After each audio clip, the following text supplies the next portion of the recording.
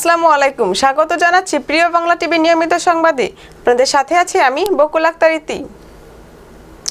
চাঁদপুরে নবম শ্রেণির ছাত্রীকে জবাই করে হত্যা। কিন্ডার গার্ডেনের কক্ষ থেকে ২৬ দিন পর মৃতদেহ উদ্ধার। চাঁদপুর জেলার মতলব উত্তর উপজেলায় নবম শ্রেণির এক ছাত্রীকে জবাই করে হত্যা করে লাশ স্কুলের কক্ষে রেখে দিয়েছে হত্যাকারীরা। প্রায় এক মাস ধরে ওই ছাত্রী নিখোঁজ ছিল। তার নিখোঁজের বিষয়ে থানায় জিডি ছিল। ওই ছাত্রীর নাম শারমিন আক্তার কাকলি। সে মমরুজ কান্দি সপ্তমগ্রাম উচ্চ বিদ্যালয়ের নবম শ্রেণির ছাত্রী। তার পিতার নাম বজলু ব্যাপারী। বাড়ি ইসলামাবাদ ইউনিয়নের উত্তর ইসলামাবাদ গ্রামে। বুধবার বাইশ এপ্রিল সকাল এগারোটার দিকে স্থানীয় শিশুরা ইসলামাবাদ ইউনিয়নের সপ্তমগ্রাম উচ্চ বিদ্যালয় সংলগ্ন মাঠে খেলাধুলা করছিল। তাদের খেলার বলটি অক্সফোর্ড একাডেমির একটি কক্ষে গেলে সেই বল কুড়াতে যেয়ে শিশুরা একটি গলাকাটা লাশ পরে থাকতে দেখে। পরে কাকলির মা রোকেয়া বেগম এসে কাকলিকে শনাক্ত করে।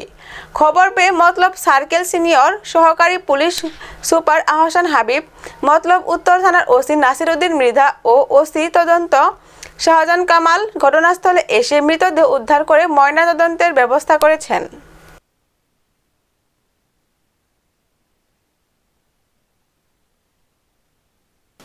ফাইন তো রিসিভ করছে কে?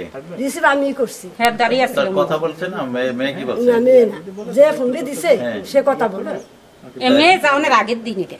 তো মেয়ে কথা সম্ভব সকল স্থানেই আমরা খুঁজেছি। এসআই নাহিদ এদের তদন্তকারী অফিসার ছিল। ওকে আমরা বিভিন্ন নির্দেশনা দিয়েছি এবং ওর সম্ভাব্য সকল বান্ধবী আত্মীয় স্বজন সমস্ত জায়গায় আমরা খুঁজেছি। কিন্তু কোথাও এ পর্যন্ত আমরা তাকে ট্রেস করতে পারি নাই। আজকে সংবাদ আমাকে একটা ডেড বডি পাওয়া গেছে, মস্তকবিহীন। তো সেখানে আমরা এসেছি, আমরা আমাদের স্যারও এসেছি, আমরা দেখলাম যে মা মস্তকবিহীন এবং ওর যে পরনের কাপড় চোপড় দেখে ওর মা রোকেয়া বেগম লাস্টে তার মেয়ে বলে শনাক্ত করেছেন। আমরা এই আঙ্গিকে আমরা তদন্ত শুরু করেছি। এতে এই মধ্যে আমাদের সম্ভাব্য কিছু স্থানে আমাদের যে পুলিশ ফোর্স আমরা অফিসার পাঠিয়েছি। আপনারা জানেন যে পাপের লেজ বেরোয় থাকে, পাপ বাপের কেউ ছাড়ে না। তো আমরা সেই আঙ্গিকে আমরা একটা অচিরেই আমরা আঙ্গিকে আমরা ভালো কিছু আপনাদেরকে উপহার দেবো এবং এই যে অপরাধী যে হোক না কেন, অপরাধী, সেই অপরাধীকে আমরা খুঁজে মাটির নিচ হলেও এই খোঁজকে আমরা বাহির করবোই। আপনারা সবাইকে ধন্যবাদ। আঠাশ তারিখ, গত মার্চের আঠাশ তারিখ একটা নিখোঁজ ডায়েরি হয়েছিল এই জায়গায় এবং একটা মেয়ে নিখোঁজ হয়েছিল। উনত্রিশ তারিখে থানায় একটা নিখোঁজ ডায়েরি হয়েছিল। ওটার পরিপ্রেক্ষিতে আমাদের পুলিশ সদস্যরা বিভিন্ন জায়গায় অনেক খোঁজাখুঁজি করেছে, গিয়েছিল। গত আজকে সকালে আজকে সকালে আমরা একটা নিউজ পাই যে এখানে সুজাতপুর বাজারের পাশে একটা পরিত্যক্ত স্কুল ঘরের মধ্যে একটা লাশ পাওয়া গেছে। তো তাৎক্ষণিক আমরা ওটার ঘটনা শুনেই আমরা এদিকে ছুটে আসি।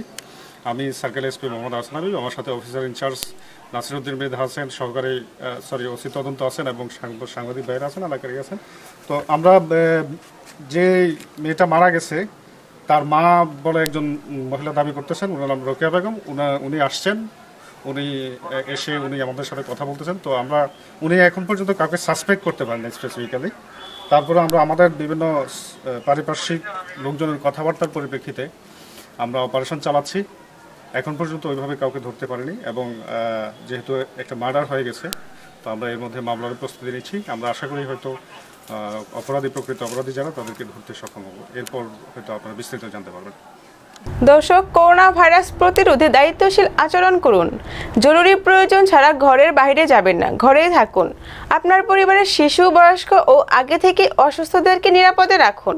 এই সংকট মুহূর্তে আপনাদের পাশে আছে আপনাদের প্রিয় চ্যানেল প্রিয় বাংলা টিভি। আজকের গল্পটি আপনাদের কেমন লাগল অবশ্যই কমেন্টের মাধ্যমে জানাবেন। কুরুচিপূর্ণ কমেন্ট থেকে বিরত থাকুন। এটা আইনগত দণ্ডনীয় অপরাধ। ভালো লাগলে অবশ্যই গল্পটি শেয়ার করুন এবং আমাদের চ্যানেলটি সাবস্ক্রাইব করুন। পৃথিবীর সকল খবর সবার আগে পেতে ভিজিট করুন W W W dot Priyo Bangla TV dot com, Facebook dot com slash Priyo Bangla TV dot com. প্রিয় বাংলা টিভি এশিয়ান স্যাটেলাইট সেভেনের মাধ্যমে প্রচারিত হচ্ছে।